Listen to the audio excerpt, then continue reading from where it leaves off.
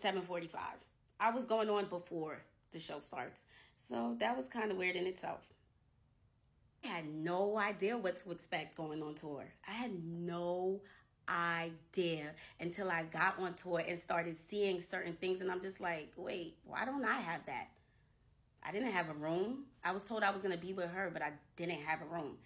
No room for me backstage at all. I was in her dressing room. I didn't have no rider. I was with her. And before I came on tour, I asked her what were the things that I was gonna have to pay for because this is so last minute. Like you're only giving me one day to prepare. Like it's July 30 something and we going on tour August 1st. Like girl, like literally one day. So I'm just like, what do I have to pay for? Nothing. You're gonna be with me. You're good. You're gonna be with me. So I was like, okay, everything is handled. I'm just gonna go. I'm gonna make the best out of it. I'm gonna make the absolute best out of it. I don't have no dances or nothing. I'm just gonna go out there and do what I can do. Sharing my stage with you and you feeling so entitled, like you thinking that my my like my peoples that work for me is supposed to work for you too. Like that's so crazy to me. Like how I'm in the shower, you gon' you gon' barge in while I'm butt ass naked, trying to press me about some bags that you gotta carry some bags. What's Like Nah, that's that shit, bro, but that's all I could do, y'all. All I could do is sigh about it, cause it's just like, what can you do, bro? It's like, damn. Crash outs and they going on rants, bro. Crash outs and they going on rants, but fuck it though. At the end of the day, it's whatever, bro. Like, this shit comes with it, you know, like. Y'all see clearly this that this this will come with it, bro, right? So fuck it. But the whole thing that's blowing me right now is like talking about some dark energy, trying to compare a tour bus to a slave ship. Like, what are you talking about right now? What? That is crazy to me, bro. That's so crazy to me. Like, you really gonna be friends with somebody for two years, but That's so crazy to me. Like, you really gonna be friends with somebody for two years, but the whole time you feel like they soulless and dark. Like you sound dumb as hell, bitch. If anything, we both need saving. Like what the fuck are you talking about, bro? Like we was dead ass at the we was at the movie theaters. We was siphon. Bitch, you not gonna tell the people how we was at an Italian restaurant and you ate so much fucking food, you fucking vacuum, that the server was like, Where did the food go? Like stop it right now. You talking about some she ain't let me to the back of her room on her tour bus. She had this big ass room. Bitch, can I play with my pussy one time? In my bed one time? Like, damn, you want to sleep in my bed every day? That's crazy to me. Anyways, yeah, I'm about to actually go to sleep for real this time, but I'm about to announce the the Europe tour dates because for me, the shit, the shit go on.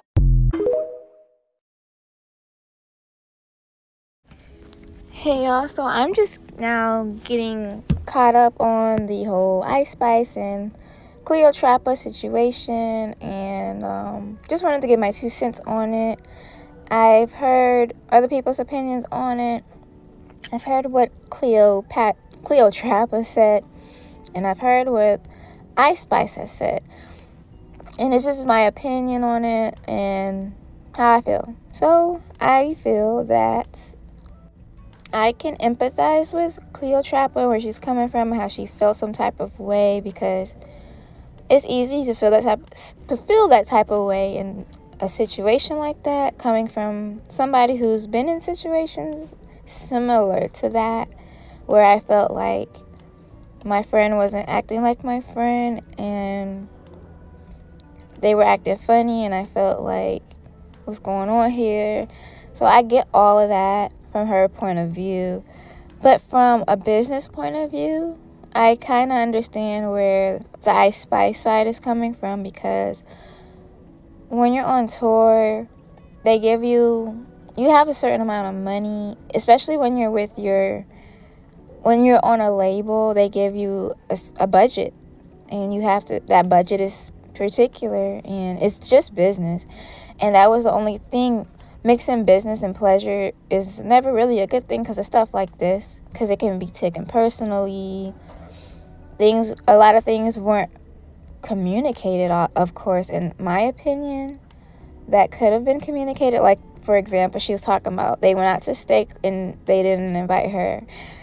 And, you know, she she wasn't in the budget according to, you know, Ice Spice's side of the story and everything like that. So, making that make sense, you know, not to be upset, but I, at the same time, I can see, like, if I, if I, if I was Ice Spice, me, me as a person, if I was Ice Spice in that situation, not understanding the business, knowing that my uh, my team has a budget and I have to stick with that budget and it's there the budget's not for my friend and I invited my friend. I'm if I had money in my pocket I would help her any way I could on my own dime. That's just me being me though. Everybody's different. I would have at least communicated, "Hey, we're going out to steak." But, you know, they said it was a secret, and I guess I can get why because I heard Ice Spice mentioned that they took her out to eat. She was complaining, Cleopatra, Cleopatra was complaining how they didn't take her out to eat, but Ice Spice was saying that they took her out to eat at an Italian restaurant and she ate her mouth off. She ate her butt off. And maybe that affected how things went from there because the budget wasn't fit for her friend like they thought it would. I don't know, that's my opinion. Is when it comes to business and money, that thing it can get kind of weird, especially when you're mixing your personal business, your personal friendships and businesses. I mean, your personal friendships into your business because it can get funny. And this is exactly why. You can't take everybody with you. Ice Spice Ice Spice comes across to me as one as, as a people pleasing type of person, almost like a passive. Like Exoticals United mentioned that and it kind of reminded me of if she is like that, then I can see how this happened like this. Because when you're not direct with people, people just assume things. And when it's not happening, it's like, whoa, hold up. Take it from somebody who's passive her own self. I've seen this my own self. I've witnessed this. I've been, I've done, I've been on both sides of this situation. And it's just business at the end of the day. If she, if Cleopatra had a team and a manager, they should have accommodated her. She, she, if she talked to her team, if she only had a day to prepare, she should have talked to her team and let them know whatever. If she would have gotten a schedule of where they were going, she could have told the manager her team. I thought she was independent, but she has a team, so I'm I'm confused on that part. But if she does have a team, a manager, she should have talked to them about what's what's going on and you know they said they did accommodate her accommodate her in Louisiana or whatever so that's good but you know when you're working with your friends it can just it does a lot of times it doesn't end very good especially when a situation like this is completely different because your friend is the spotlight and you're not in this particular moment and I can see how Cleopatra could feel some type of way because I think she was famous, not famous before Ice Spice, but bigger before Ice Spice in her community in the Bronx or whatever, wherever they're from. I think because I remember Cleopatra's mentioning how Ice Spice used to look up to her before she blew up, and then now Ice Spice is on top. so it just gives a lot of resentment and a lot of hold up. I'm supposed to be the big one on here. What's going on here? But you know, I understand how she could feel some type of way. I truly do because I've I could just see it from her perspective, but at the same time I can see it from Ice Spice's situation, it being a business, it being about her label or paying for everything and not her. But, you know, as a friend, if she invited her knowing that her team has a budget, she should have just went out of her own pocket or something or talk to her a little more about, hey, just to let you know that uh, my team's not going to be paying shit for you because the budget isn't in it, but I still want you to come anyway because I want to put you on and be my friend and we would I would have shared a plate or something. You know what I'm saying? But you know, everybody's different. But I just wanted to get my two cents on this. Uh, what do you guys think about this situation? Let me know in the comments, and I'll talk to you guys next time add on. But yeah, like I was saying, you really can't take everybody with you when you do make it because it's lone they say it's lonely at the top for a reason and there's a whole bunch of reasons and ice spice being an exotical pretty so she benefits from a whole bunch of privileges and then on top of that you made it before me I can understand. I mean, I can see uh, from a empathetic point of view, from empathizing with her, how she could feel some type of way easily. But to be bitter about it is where she's messing up at and putting it all online. Like, you don't have to do all of this. Calling the tour bus a slave ship is just kind of extra and just just being extra and almost implying that uh, Ice Spice is acting superior and because I remember a lot of people saying that she's a colorist and all of this stuff. So it made me wonder if that was even necessary. I mean, even if she were to blow up herself, isn't she gonna get on tour buses? I mean, are they still gonna be slave ships then, or is it just because it's Ice Spice's bus? I don't know. But yeah, this is an unfair, unfair world. Um, if she had a team, she, I mean, she, I mean, why didn't her manager come with her, come with her on the tour if she was invited? I mean, I understand they're not accommodated and everything, and she was just invited, but she should have known from being invited last minute how things might play out. Like I know anytime I do something last minute, it's not gonna end up going good because I forget something or you know, my money ain't right or something. I'm not prepared. So I understand how she felt like, damn, they, they couldn't even say nothing about going out to eat steak. I mean, as a friend, I would have been like, hey, we're going out to eat. I mean, I know we can't pay for anything for you, but I can share a plate or something because I invited you. That's just my heart talking because that's just how my heart works. I'm not going to invite my friend and then act, make them feel unwelcomed because I almost know too well how it feels to be invited to somewhere and not feel welcomed. I think that's the part I'm empathizing with Cleotrapa on.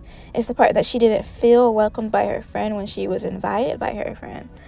But when it's business, you have to kind of understand that part first, especially when you guys are friends and working together.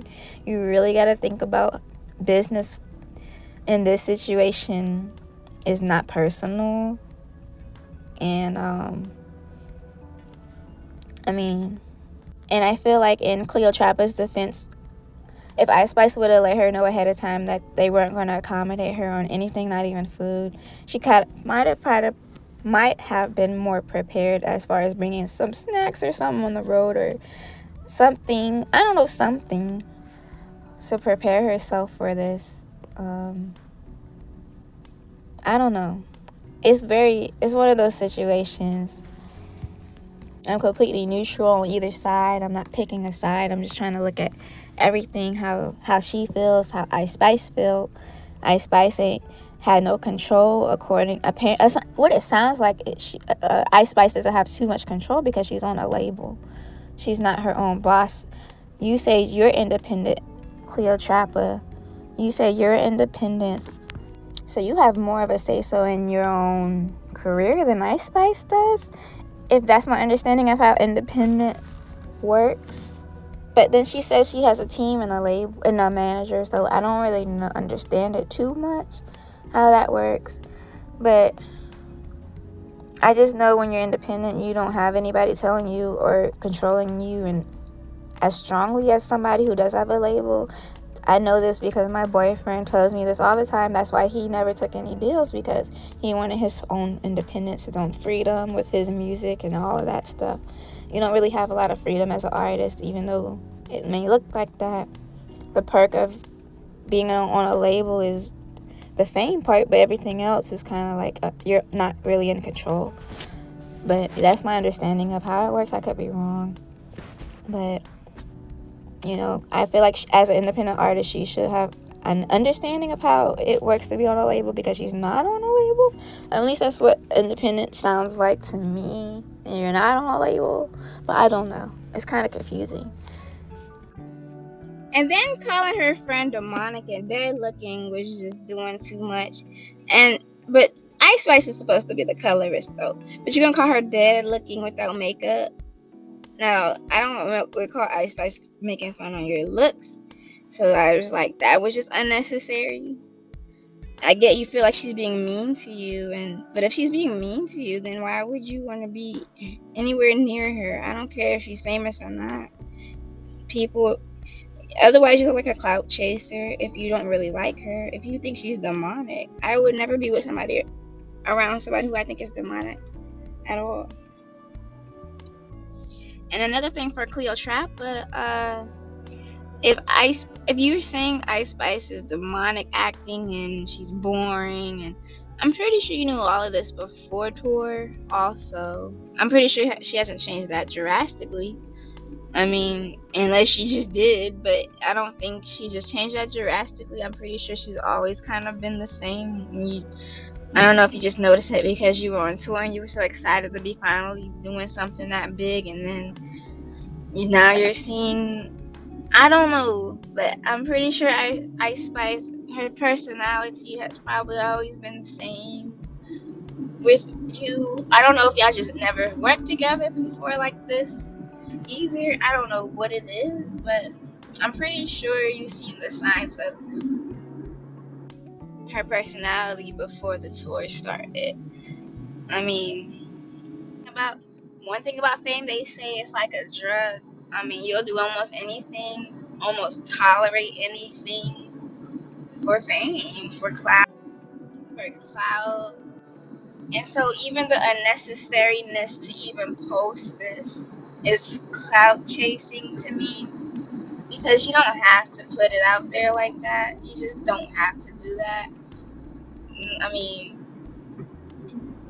as being an independent artist, some part of you has to have known that Ice Spice isn't in control of a lot of this, and yet you still felt the need to feel how you felt. Like I would have took that into consideration when I'm with. If I was her, I would have been like, um, she's on a label, so I'm sure that it's not in the budget, but you got to know that type of information, I guess. But as an independent artist, I would think you would know that type of information. That's why you choose to be independent and not on a label. You were apparently on before Ice Spice. Apparently, Ice Spice was fan girling you before she blew up, and now she's acting funny, according to her. So you, you, I mean, you didn't do what you had to do to get to her level. I mean, maybe it. I don't know. Ice Spice just has mark. I mean, networking skills. I don't know. She knows how to market and network with the right people. And then also, she just she has a universal look, so that also might play a part. And we all know that. And that's just part of the world being unfair. But when it, if she, didn't uh, you know, Ice Spice said herself, she was just trying to do you a favor and then invite you on tour with her, and she didn't have to do that. She didn't have to do that at all. Cause she's working. She's it's her tour, so you know what I'm saying. To give Ice Spice some credit, she didn't have to do that. Friend or not, she's working. You know what I'm saying? When you're working, you kind of have to put personal aside. So you have to consider some of this Cleotrapa when, but she, I don't, I don't think she was thinking about any of that. Like Ice Spice isn't really in control. Otherwise, but you, but you saying her personality is all of this and all of that. Well, you, I'm pretty sure, like I said, you've seen that before you went on tour with her. You should have considered all of that. But you was I don't know if you was just trying to clout chase and just or what. Because then when it didn't go your way, you went on the internet about it. Now you got all these people talking about you now. Getting what you probably wanted. Clout. You know,